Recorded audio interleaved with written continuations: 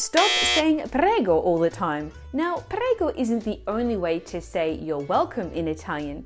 In fact, there are nine equally popular terms and phrases that locals use to say you're welcome in Italian that will expand your vocabulary and have you sounding more natural.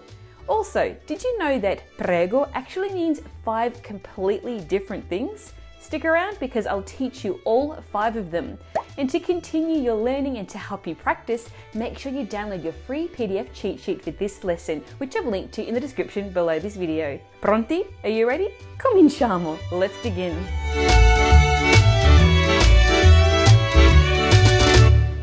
Okay, the first one, prego. This is obviously the top choice. For example, you might say, Grazie per il tuo aiuto. Prego. Thank you for your help. You're welcome. Prego in Italian can be used in both formal and informal situations.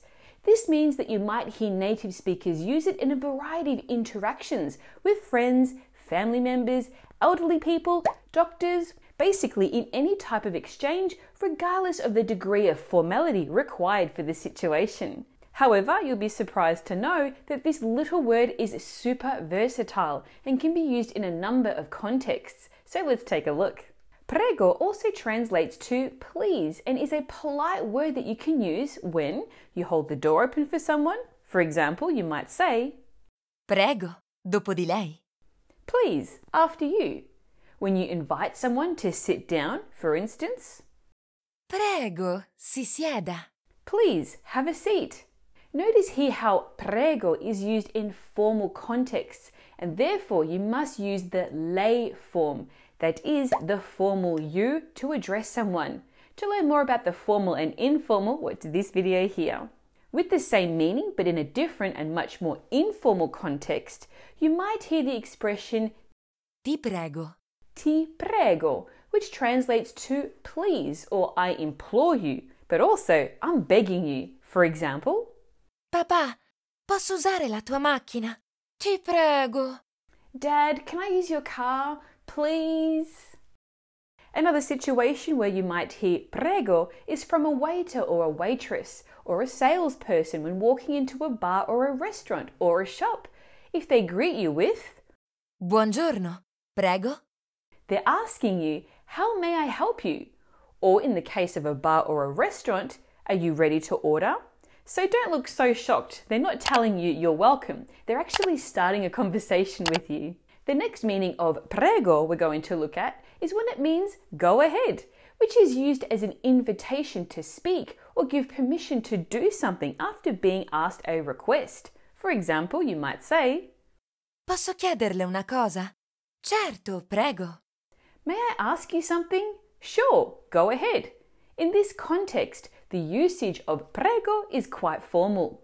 Prego is also the first person singular of the verb pregare, meaning to pray, Io prego. or just, Prego. therefore, both mean I pray. And finally, this little but powerful word can be used as a sort of question that you ask when you want the other person to repeat what they've said. Prego. As in, pardon, sorry, what was that? Sorry, I didn't get that. So if your Italian friend is telling you about their day in fast Italian, you might need to stop them at some point and say, Huh? Prego? If you've visited Italy before, you've most likely heard the word prego used a lot, and it is quite popular. But there are so many other colourful variations that express a certain nuance when you want to say you're welcome. So let's take a look at the first one, shall we? Di niente. Di nulla. For example, you might say, Grazie per la cena. Di nulla. Thank you for dinner. Ah, it was nothing. Now, these phrases literally mean of nothing, that niente and nulla are synonyms that translate to nothing, and they are interchangeable. They're frequently used and quite neutral. That is, like prego, but you can use them in both formal and informal contexts. You can use them to express your willingness to help or to do something by saying that there was no inconvenience caused. The next one is, Ci mancherebbe. Ci mancherebbe altro.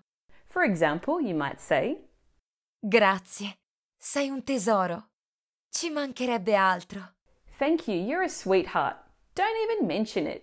This highly idiomatic expression would translate literally as there would miss something else, which sounds a bit odd if you directly translate it into English. But this is a popular, albeit less common than prego and di nulla or di niente, way that Italians use to say you're welcome. This comes from the verb mancare, to miss, but its actual meaning has nothing to do with that. You could translate it as don't even mention it, or you're very welcome, or it was a pleasure. Ci mancherebbe or ci mancherebbe altro is very emphatic and it fits in both formal and informal contexts. The word altro literally means another or different, and it doesn't add anything special to the phrase itself, so both versions are accepted. The next phrase is Ma ti pare? For example, you might say Grazie mille, ti devo un favore. Ma ti pare? Thank you so much. I owe you one. Don't mention it. No worries. This phrase to say you're welcome in Italian is also very idiomatic, meaning it can't be translated literally. It is actually quite hard to find a proper translation in English for this one. How come? Because sometimes Italians use typical expressions whose meaning is clear only to native speakers because they're part of the common usage, but to foreigners, they don't make any sense at all. Ma ti pare is one of them. In English, it would translate to something like, but does it seem to you? Because it derives from the verb parere, to seem. Unlike with the previous phrases that we've seen, this expression is mainly used in informal contexts, that is, with friends, peers, and close acquaintances. This phrase is used in situations where a person expresses extreme gratitude, and another one responds to it with a high level of enthusiasm for being able to be of assistance or help. Coming in at number five, we have figurati, si figuri. For example, you might say, Grazie del regalo, figurati. Thanks for the present. My pleasure. Any time. Don't mention it. These next two expressions used in Italian to say you're welcome come from the verb figurarsi meaning to imagine or to figure. But once again, they're used figuratively, no pun intended. The informal version, figurati, is a much friendlier way to say prego and conveys the idea of my pleasure, happy to help, anytime. For instance, if you give your Italian friend a present, you can reply to their grazie with a figurati. On the other hand, the formal version, si figuri, is also friendly, but at the same time very polite. For example, La ringrazio per il suo tempo. Si figuri. Thank you for your time. You're welcome. My pleasure. Like prego, figurati can have different meanings too, depending on the situation where it's used. Take a look at the following sentences. Pensi che lo chiamerò? Figurati. You think I'm going to call him? No way. Non viaggia mai nel suo paese. Figurati all'estero. She never travels in her own country, let alone abroad. Another expression Italians use to say you're welcome is Ma scherzi. For example, you might say, Grazie per avermi aiutato. Ma scherzi. Thanks for helping me. Don't mention it, of course. The phrase ma scherzi, uttered in a tone between a question and an exclamation, is very similar to ma ti pare, which means it's used mostly in informal contexts. It's a very enthusiastic and emphatic way to express your pleasure, to help, or to do something for someone, such as a friend. The literal translation in English would be, But are you joking? Although it's used to mean, of course, or don't mention it. Next we have, Nessun problema. for example, you might say, Grazie per il consiglio. Nessun problema. Thank you for the advice. No problem. This next one is another common phrase Italians use to say you're welcome. Unlike the previous expressions we've seen so far, the meaning of nessun problema can be literally translated to no problem. It conveys the idea that giving help or assistance to someone didn't cause you any inconvenience. This phrase is actually the shortened form of Non c'è nessun problema. meaning there's no problem. Attenzione, be careful. Now, if you're a beginner in Italian, you would probably translate the English no problem with no problema in Italian, which is a very common mistake. However, the word no in Italian is not used in these kinds of expressions, but only as a reply to a question. Check out my guide to see the most deadly mistakes beginners of Italians make in this video here. The next expression is Piacere mio. È stato un piacere. For example, you might say, Grazie per essere venuti. È stato un piacere. Thank you all for coming. It was a pleasure. Another way to say you're welcome in Italian is with piacere mio, my pleasure, or its variation, è stato un piacere, it was a pleasure, which conveys the idea of you enjoying assisting or doing something for someone, as in, I don't or I didn't mind helping.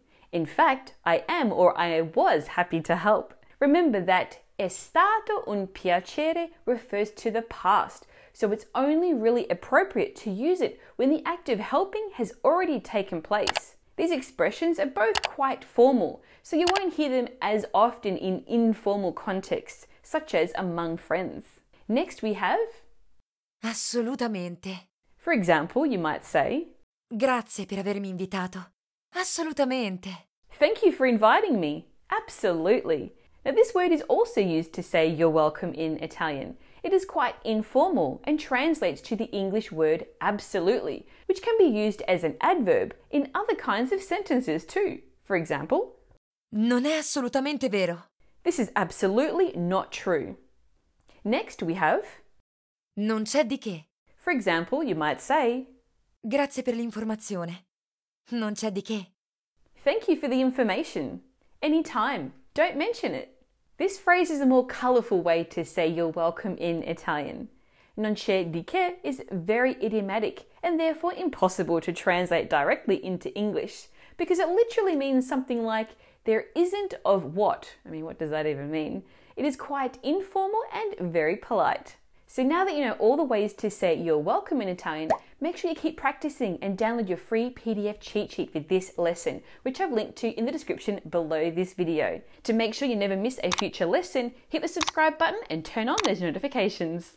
If you enjoyed this lesson, then you'll love Intrepid Italian, my series of online self paced video courses that break down everything you need to know about Italian using my unique 80 20 method. Just visit intrepiditalian.com for more details. Enjoyed this lesson? Make sure you watch this video here to learn the top 100 most commonly used Italian words and this video here to cheat your way to fluency in Italian. This is a real game changer. A presto! Ciao!